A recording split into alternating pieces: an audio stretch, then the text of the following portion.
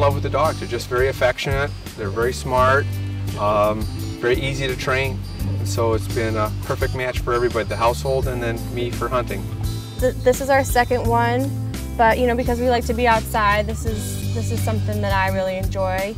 So we're used to having a Vizsla that is just around the house and it's awesome now to see her out in the field working birds um, and actually doing what she was bred to do.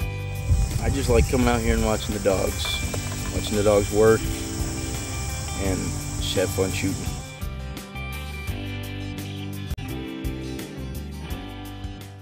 We're here today at an AKC hunt test and there's three different levels that we're going to have today. One's a junior, then a senior, then a master level hunt test. All these are sanctioned by the AKC, and us as a club, they entrust us to follow the rules of the AKC, which are published in a rule book. So we'll start with juniors. Most junior dogs are what we see at home with a pet. Um, not a lot of required training. Most of this stuff is bred into the dogs for, for it. There's four things the AKC wants to see. And they have judges out here on horseback or ATV. And those judges will be judging on four things. Bird finding, hunting, pointing, trainability. How does the dog listen to you? Point, we need the dog to point for three seconds. One 1,000, two 1,000, three 1,000. It only has to do that 50% of the time to pass a junior. Bird finding, does the dog find birds? If, if it goes on point and a bird is produced, that's considered bird finding.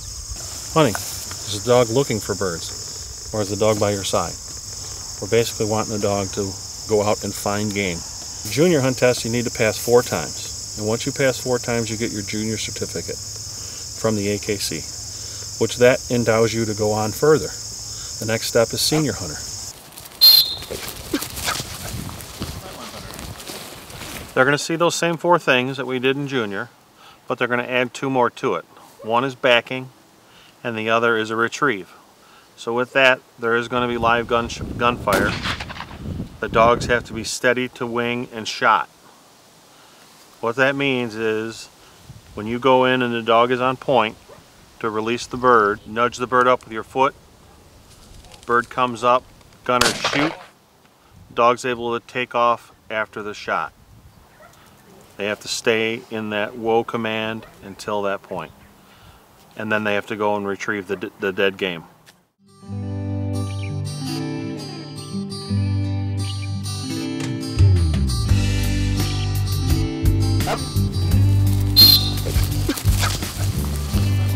In a master hunt test, the dogs must be in control at all times. These are the polished gun dogs.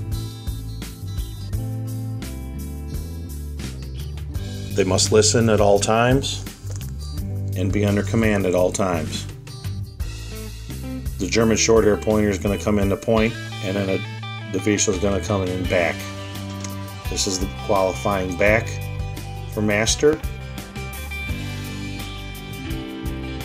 After the shot, the dogs both should remain in the same exact spot and not move.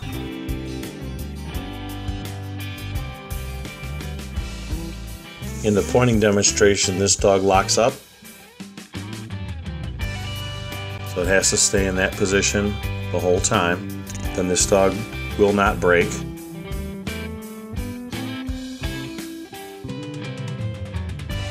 Till the bird is flushed and then is released for the retrieve.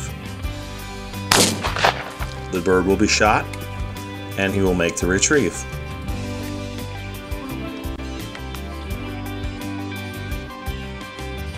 The dog is sent via command.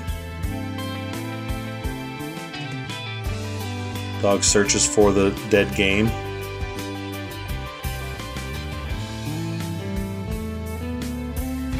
Dog fetches the dead game and retrieves to hand. Just as in this example here for retrieve. This is production. Yeah. It's called cat herding. Cat herding? Yeah. Which is hard to do. Uh -huh. Go. Makeup! Put your hand up. Where's makeup?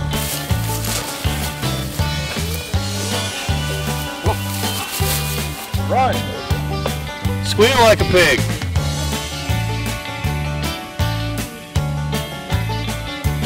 Oh, I forget I'm mic'd up.